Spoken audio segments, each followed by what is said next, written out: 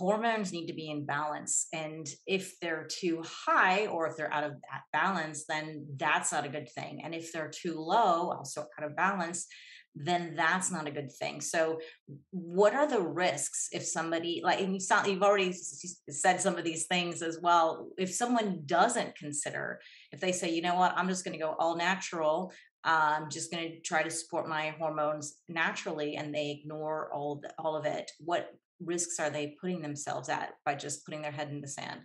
Yeah, and that's huge. So if you look at the number one sort of killers of women, you know, number one is cardiovascular disease. So, what is one of the very important things for our cardiovascular system is actually estrogen. So, estrogen has huge cardiovascular benefits.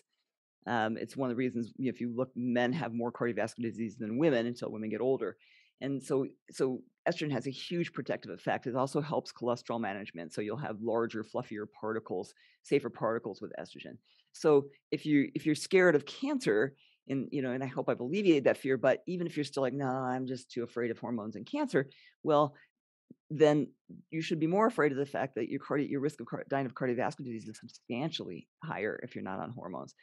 You know, number two is the other big thing is when you look at at bone, and and you can you know take all the vitamin D you want, and calcium, magnesium, and all those things, but the main stay for bone is hormones, and that actually helps the the metabolism of of calcium. So, and it's not just estrogen. Estrogen gets all the credit. Estrogen, testosterone, progesterone are all critical for bone building. So all three of those hormones are critical for for bone building. Estrogen, people always say, oh, it's estrogen. You know, estrogen actually helps maintain bone, but testosterone is more anabolic, really, to build bone, to you know, get bone thicker and denser.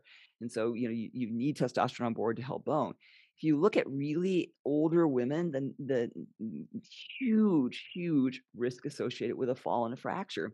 And in fact, if you're over 70 and you fall and fracture your hip, your likelihood of ever getting back to the lifestyle you were at before is minuscule. People do not come back from those things. And as you get older, your risk of dying from those things is considerably higher, partly because you get more sedentary. You know, my own mom, who you know passed away last year, she fell she was you know just 96 so she was old but she fell she broke her pelvis and eh, you know and three months later she died because she really could just never move again i mean you know she became pretty much wheelchair bound and even you know getting her to the bathroom and dress was impossible